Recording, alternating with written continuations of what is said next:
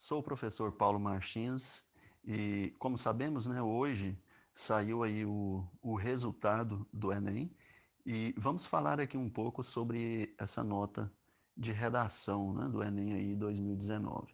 Bom, hoje, como é né, o, esse resultado, é um momento de muitos né, comemorar. Nesse momento agora a gente sabe, nós sabemos que tem muitos aí comemorando, mas também sabemos que é um momento de frustração para muitos, né? que às vezes alguns lutaram, estudaram muito, mas não conseguiram o objetivo, outros talvez né, relaxaram ao longo do ano aí e acabaram também não conseguindo uma boa nota. De toda maneira, eu vou dar algumas dicas aqui, né, falar sobre isso. Então, é, para aqueles que, que querem melhorar a sua nota, aí, né, esperam ter uma nota melhor aí no Enem de 2019. A primeira coisa que eu vou falar aqui é sobre se preparar com antecedência. São muitos os alunos né, que deixam para se preparar para a redação de última hora. Isso aí é, pode não, não ter eficácia, né? pode não ter o, assim, o que espera, o que deseja e chegar nessa frustração que às vezes alguns estão passando nesse momento. Então, é importante começar logo agora, né? Comece hoje, né? Não deixe nem para amanhã, mas já comece hoje a se organizar, a se preparar aí para essa redação do Enem. É, é, importante que o aluno, ao longo do ano, ele faça, no mínimo, no mínimo, uma redação por semana.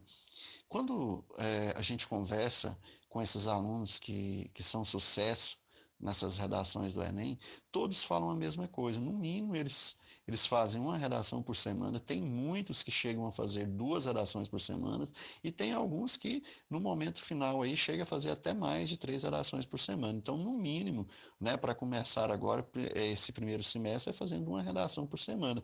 E, né, caso tenha tempo e ache necessário, no segundo semestre, passe a duas ou mais redações por semana. Por que, que é importante você treinar uma redação por semana? Porque nós sabemos o peso que tem essa nota ah, né, para o Enem aí. É, a redação ele é uma área que ela você tem mais facilidade de tirar uma nota acima de 900, ter uma média maior na redação do que nas outras áreas. Enquanto que o aluno nas outras áreas ele tem um, assim um aluno razoável, ele tem uma nota é, por volta de 700, né? Quando é um aluno bom, não razoável, desculpa, mas um aluno bom, ele tem uma nota de 700 nas outras áreas, como matemática, né? Ciências da natureza, outras áreas aí. E em redação, é muito comum os alunos medianos, né, que se preparam, ah, que estudam redação, ter uma nota aí acima de 800. E é muito comum os alunos que estudam para valer ter uma nota acima de 900. Então, resumindo esse ponto aqui, isso quer dizer, a redação, a nota da redação, ela vai ajudar você naquelas áreas que você não foi bem. Ela vai ajudar a levantar a sua nota nas outras áreas que você às vezes não saiu tão bem assim. Porque a redação, ela é mais previsível. Tem cinco competências, mas assim, são competências que dá para você estudar rapidamente, não é como os outros conteúdos que você tem, que um ano, dois anos e três anos é pouco para você né, se preparar, enquanto isso não. A redação você consegue se preparar aí tranquilo com um ano. Então, vale a pena você se preparar, fazer essa uma redação por semana, porque é essa nota que pode te salvar aí.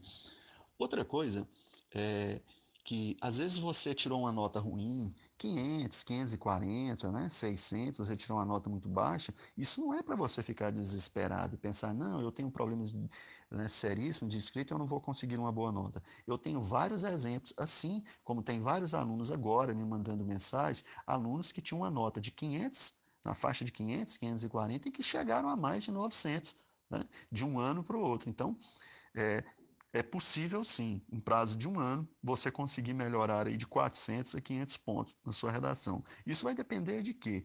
Eu já disse, fazer uma redação por semana e durante esse ano é importante também a questão da leitura. Né? É muito importante é, é você se preparar na questão do repertório sociocultural. O que é esse repertório sociocultural?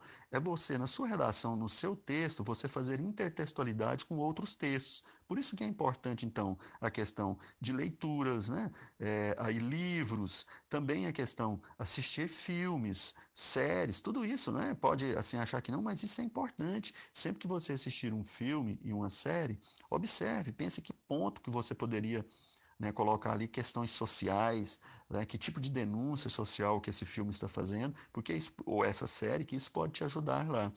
Também é, se preparar aí, né, esse repertório sociocultural, quanto ainda esse repertório sociocultural, estudar as teorias de filosofia e sociologia, que elas são muito importantes também ah, para fortalecer os seus argumentos. É, e por último aqui, né, eu quero falar algo importante. Além de você fazer essa redação né, semanal, você tem que se preocupar com alguém para corrigir essa redação. Não basta só você fazer uma redação e não ter ninguém para corrigir. Se você não tem condição de pagar um professor, se você não tem um, um professor que é amigo, que possa fazer isso para você, Peça um colega, um colega que você né, tenha confiança, que você sabe também que está estudando, e troque a redação com ele. Porque o importante é você saber que você está escrevendo para alguém, você saber que você vai ser lido.